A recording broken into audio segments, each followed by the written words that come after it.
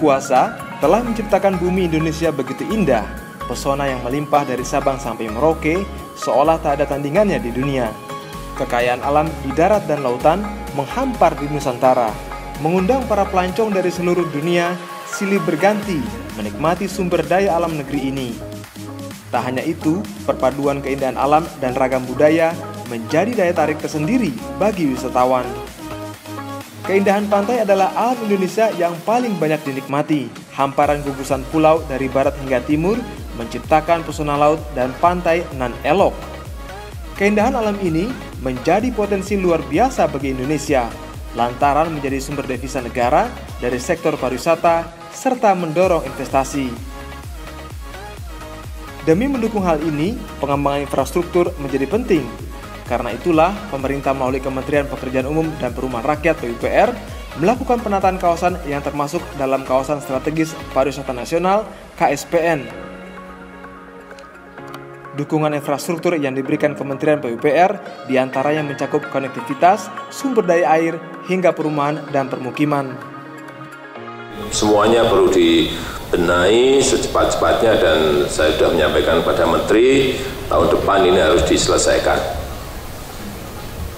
tahun ini digarap, tahun depan diselesaikan karena memang uh, ada peluang besar bagi kita untuk menarik wisatawan dari mancanegara yang tentu saja kita harapkan dapat menghasilkan devisa yang sebanyak-banyaknya. Uh,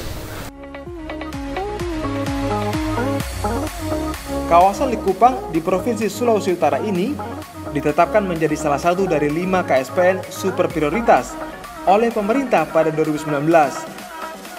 Selain Likupang, tentu juga Bunaken di Manado yang sudah lebih dulu masyhur. Jika kota Manado dikenal dengan keindahan bawah laut Bunaken, kawasan Likupang pun tak kalah menarik. Kawasan wisata di ujung utara Pulau Sulawesi ini memiliki potensi wisata bahari Panorama bawah laut dan pantainya sangat menjanjikan sebagai wisata kelas dunia, di antaranya Pantai Paal dan Pantai Pulisan. Bahkan pemerintah dengan bangga mempromosikan kawasan ini di ajang World Travel Market London pada November 2019 lalu. Tujuannya agar kawasan Likupang lebih dikenal di dunia internasional.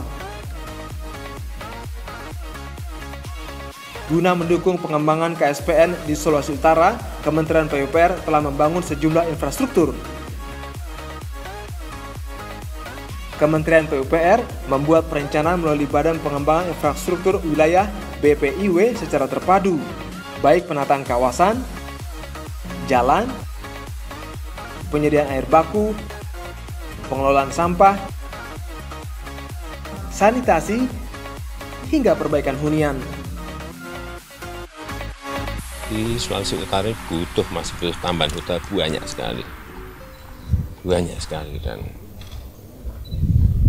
yang menyampaikan itu dari maskapai travel biru menyampaikan ingin banyak sekali datang ke sini tapi di sini ada yang sudah siap ada yang belum siap. Ini pemerintah pusat ingin membackup hal yang belum siap tadi. Misalnya segera ini kawasan ekonomi khusus pariwisata diselesaikan. Jalan-jalan yang belum lebar, lebarin. Tol yang belum selesai, segera selesaikan. Pembangunan tol Manado Bitung untuk mendukung pengembangan kawasan ekonomi khusus KEK Bitung dan juga sebagai pendukung KSPN Manado Bitung Likupang di Sulawesi Utara. Tol sepanjang 39 km ini dibangun melalui skema kerjasama pemerintah dan badan usaha. Nilai investasi pembangunan Tol Manado Bitung mencapai lebih dari 6 triliun rupiah.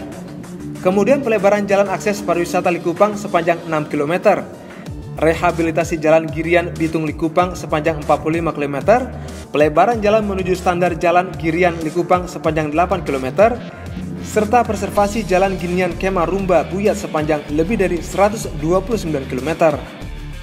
Kementerian PPR juga melakukan penataan di kawasan Pantai Paal yakni entrance dan landmark, area parkir, penataan PKL, dan pembangunan souvenir shop hingga fasilitas umum lainnya. Di bidang sumber daya air, Kementerian PUPR membangun embung sebagai tampungan air dengan kapasitas 400 meter kubik, serta sumur bor dengan kedalaman 120 meter untuk mendukung penyediaan air baku di Desa Kinunang, Pulisan, dan Marinsou.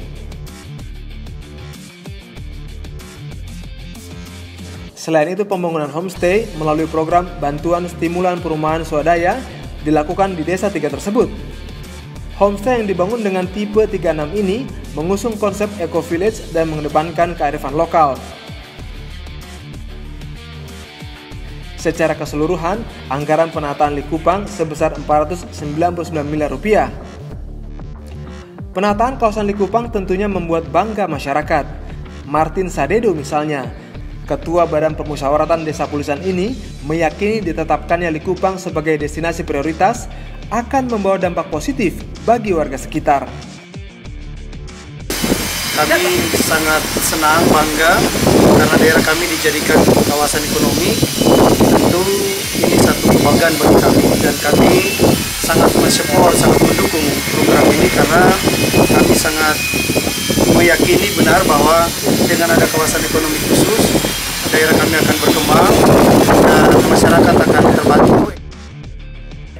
Penetapan Likupang sebagai kawasan super prioritas diharapkan mampu mengembangkan perekonomian masyarakat sekitar, serta meningkatkan minat kunjungan wisatawan, baik domestik maupun mancanegara, sehingga dapat menambah pendapatan devisa dan investasi bagi Indonesia.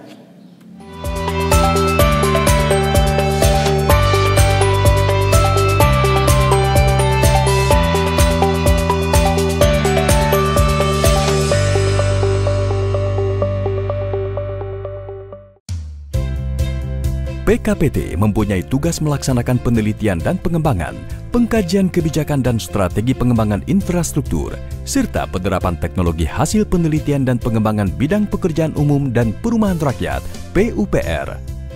Pusat Penelitian dan Pengembangan Kebijakan dan Penerapan Teknologi dikepalai oleh Kepala Puslitbang Kebijakan dan Penerapan Teknologi, dibantu oleh Kepala Subbagian Tata Usaha, Kepala Bidang Program dan Evaluasi, Kepala Bidang Sumber Daya Kelitbangan, Kepala Bidang Kajian Kebijakan dan Kerjasama, serta Balai Litbang Penerapan Teknologi Sumber Daya Air, Balai Litbang Penerapan Teknologi Permukiman, dan Balai Litbang Penerapan Teknologi Jalan dan Jembatan. PKPT berfungsi sebagai pendukung akselerasi pembangunan infrastruktur PUPR secara komprehensif dan terintegrasi dengan sektor-sektor di lingkungan Kementerian PUPR melalui penerapan teknologi dari hasil penelitian dan pengembangan Litbang yang lebih kreatif dan inovatif. Dengan adanya PKPT, hasil Litbang menjadi lebih utuh dan terpadu serta mengarah kepada rekomendasi kebijakan penyelenggara infrastruktur, yaitu terbukti secara ilmiah, layak dari sisi ekonomi, mampu diterima masyarakat, serta yang tak kalah penting yaitu ramah lingkungan. Untuk memudahkan penerapan teknologi serta koordinasi dengan stakeholder terkait, PKPT menyusun proses yang dimulai dari prototipe teknologi hasil litbang oleh masing-masing litbang terkait, yang kemudian dilakukan pengkajian dan penerapan teknologi oleh balai-balai di lingkungan PKPT hingga tercipta kerjasama dengan aplikator yang didukung dengan perlindungan hak kekayaan intelektual dalam bentuk paten ataupun hak cipta. Proses bisnis penyusunan rekomendasi kebijakan yang dilakukan PKPT dimulai dari menjawab isu dan permasalahan yang ada. Selanjutnya dianalisis menggunakan metode penelitian yang tepat. Dan pada akhirnya menghasilkan rekomendasi kebijakan yang dibutuhkan pimpinan dalam pengambilan keputusan. Keberhasilan dari penelitian tak lepas dari sumber daya manusia yang kami miliki. PKPT didukung oleh SDM yang terdiri dari para peneliti handal, perekayasa, dan jabatan fungsional lainnya. PKPT memiliki sedikitnya 17 bidang kepakaran, arsitektur, antropologi, pengkajian dampak sosial dan evaluasi program, teknik lingkungan, perencanaan dan kebijakan sosial, ekonomi lingkungan, studi perkotaan dan regional, kebijakan publik, studi kemasyarakatan lainnya, ilmu kebijakan, sosiologi, kebijakan dan administrasi, teknologi dan manajemen lingkungan, ekonomi terapan, dan teknologi konstruksi.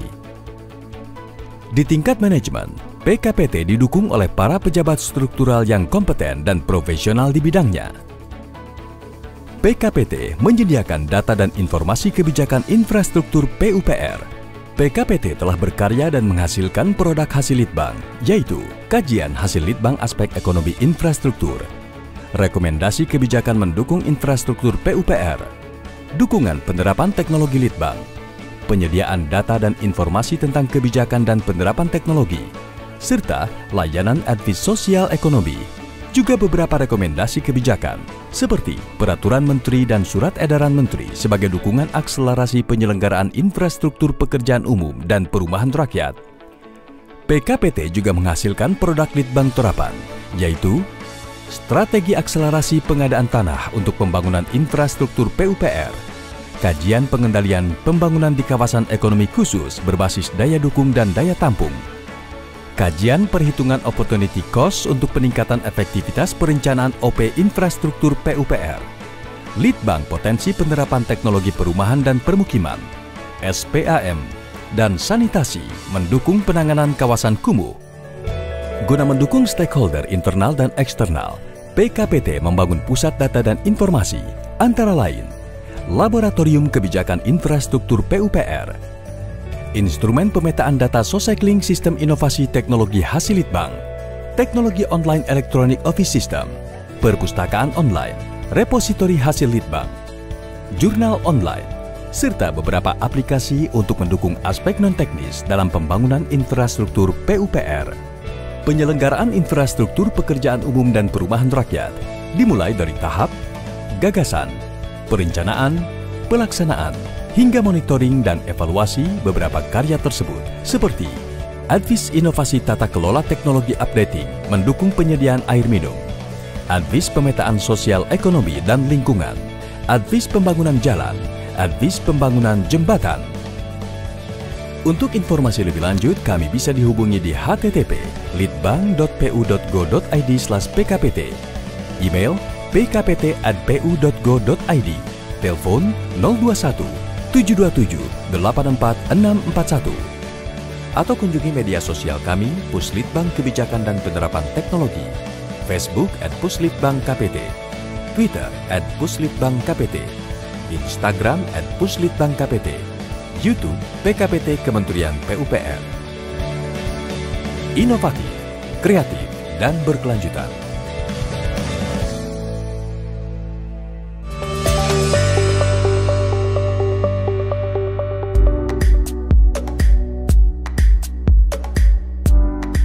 Morotai merupakan salah satu pulau terluar di utara Indonesia dengan mayoritas daratan berupa hutan.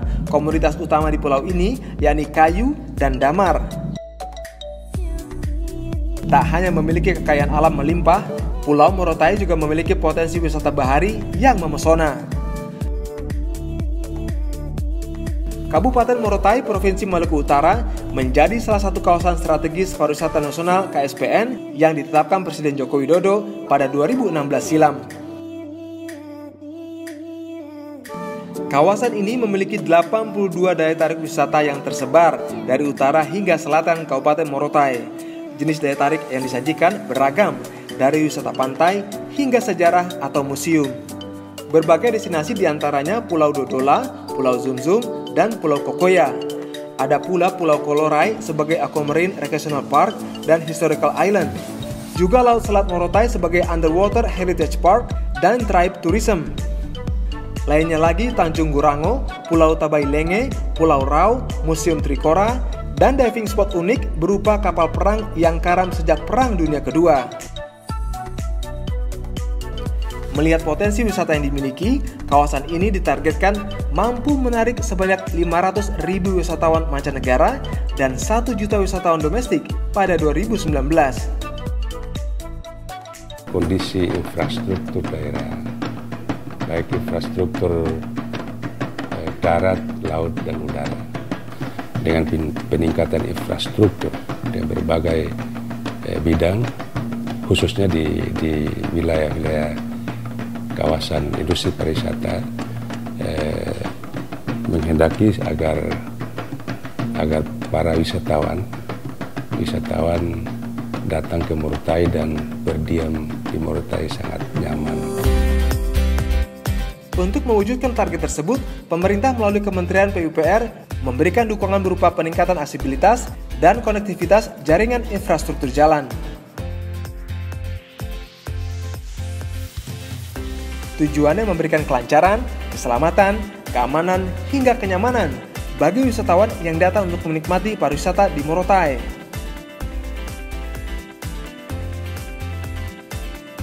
Penanganan ruas jalan lingkar Morotai di antaranya pembangunan jalan baru ruas Sofi Wayabula sepanjang 6 km dengan biaya 32 miliar rupiah.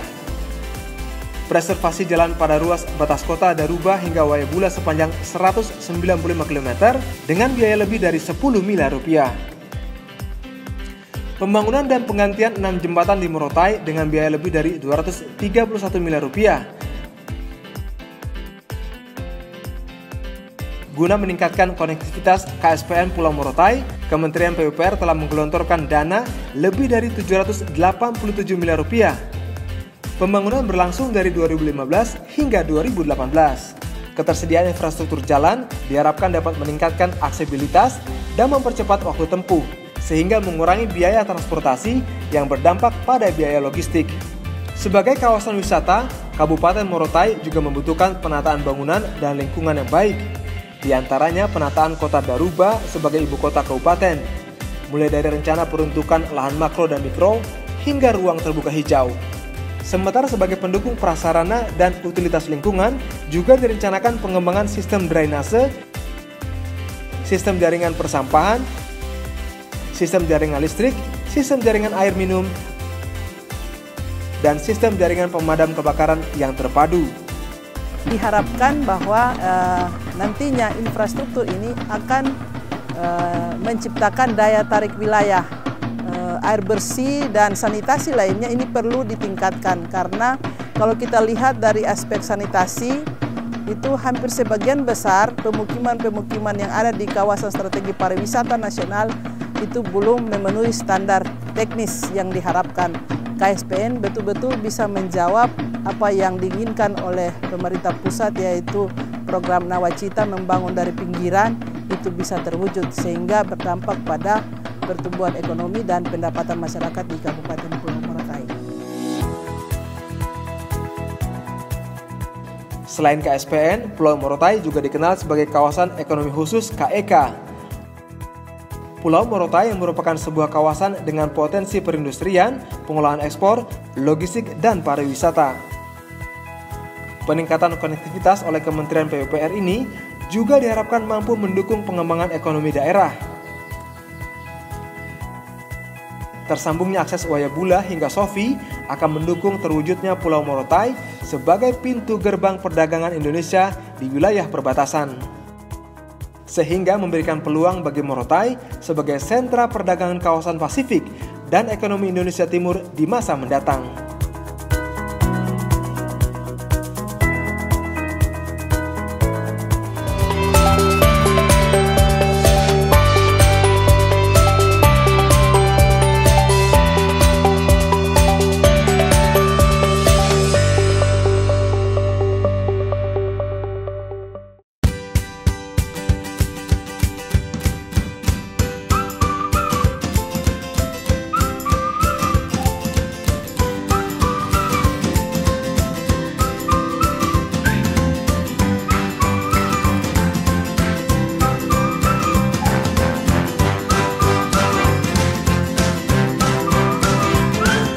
Menteri Basuki Hadi Mulyono memang unik.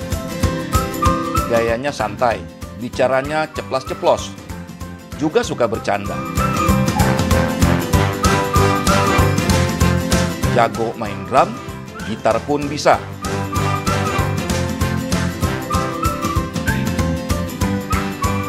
Pak Bas dan beberapa menteri bahkan bikin grup band. Ele Yo Band namanya pernah manggung di Java Jazz juga. Di dunia maya, Pak Bas dijuluki Bapak Mim Indonesia. Apa saja gaya Menteri Basuki yang jadi viral? Saksikan program Pojok Menteri dalam episode Gaya Nyentrik Menteri PUPR. hanya di PUPR TV.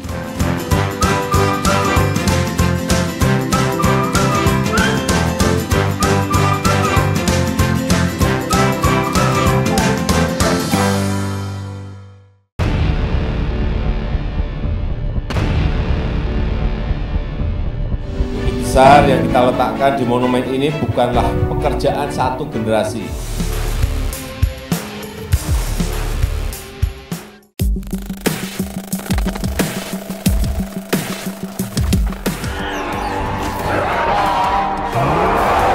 Tahu pasukan superhero rekaan Marvel di Avengers?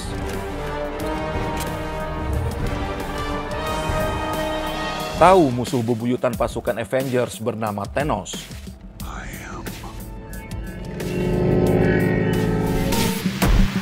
Film besutan Marvel Studio ini begitu fenomenal. Merajai film box office dunia. Rupanya, Presiden Jokowi pun tertarik dengan Avengers. Pak D. Jokowi menyebut, dunia kini sedang menghadapi perang ekonomi berkepanjangan dan tak berbatas, alias Infinity War. Presiden Jokowi pun menganggap musuh besar dunia sekarang adalah Thanos. Dan ternyata markas pasukan Avengers juga ada di Indonesia. Di manakah letaknya? Saksikan program Pojok Presiden dalam episode Markas Avengers hanya di PUPR TV.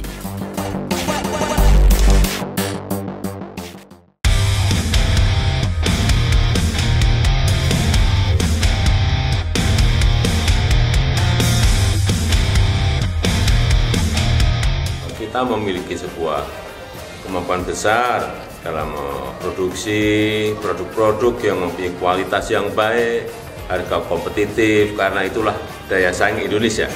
Presiden Jokowi kerap bergaya santai. Sepatu sneakers misalnya menjadi pemandangan tak asing yang sering dilihat orang. Berjaket bomber juga menjadi salah satu gaya keseharian Pak D. Jokowi. Tak jarang pula busana yang dikenakan Presiden Jokowi menjadi viral dan ditiru banyak orang. Boleh jadi semua demi kepraktisan. Dan itu juga menjadi ciri khas Presiden Jokowi yang tak terlalu hirau dengan penampilan. Bagi Pak Jokowi, yang penting adalah kerja, kerja, dan kerja. Mau tahu lebih jauh tentang gaya santuy Pak D. Jokowi? Saksikan program Pojok Presiden dalam episode Gaya Santuy Presiden Jokowi. Hanya di PUPR TV.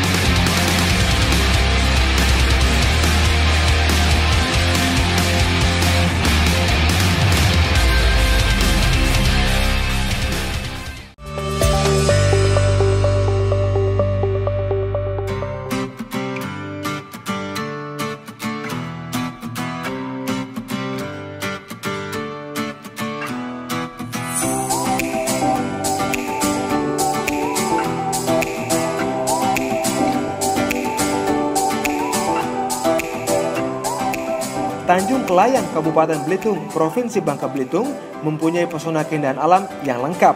Pantai berpasir putih serta lautan biru jernih yang dihiasi pulau batu granit raksasa menjadi daya tarik tersendiri bagi wisatawan. Tak heran jika Tanjung Kelayang juga masuk dalam daftar 10 kawasan strategis pariwisata nasional KSPN. Selain KSPN, Tanjung Kelayang juga merupakan kawasan ekonomi khusus KEK ke-9 sebagai KEK, Tanjung Kelayang memiliki pesona keindahan yang lengkap, di antaranya kesenian daerah,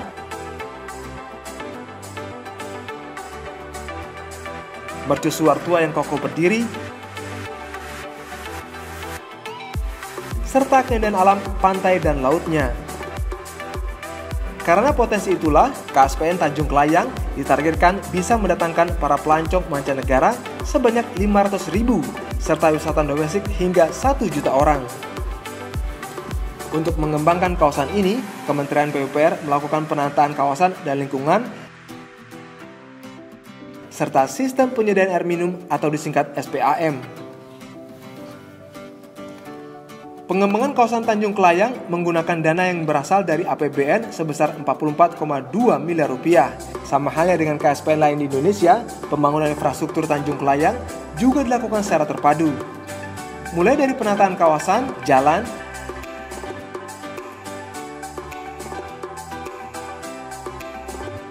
penyediaan air baku dan air bersih, pengelolaan sampah, sanitasi, serta perbaikan hunian. Selain sebagai sumber devisa melalui wisatawan mancanegara, KSPN Tanjung Kelayang juga diyakini mampu menarik investor. Presiden Joko Widodo mengaku KSPN Tanjung Kelayang semakin banyak diminati oleh para investor. Hingga Maret 2019, investasi yang masuk ke kawasan ini sudah mencapai 9 triliun rupiah. Sudah yang di Tanjung Kelayang sudah masuk apa Seraton sudah masuk yang Sofitel akan masuk.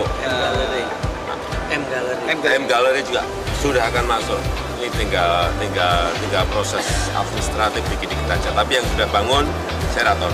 Target ya. investasinya gimana Pak? Hmm. Target investasi ya ini terus terus terus sehingga di diproses di, di Tanjung Bayang 9 triliun kita harapkan nanti di KEK yang uh, berikutnya nanti juga akan masuk investasi investasi yang ini ya.